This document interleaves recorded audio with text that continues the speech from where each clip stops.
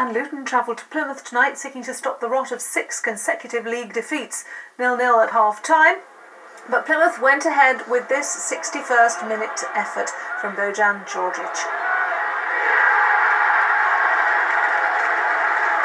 Luton came close to equalising with an effort right at the end of the match.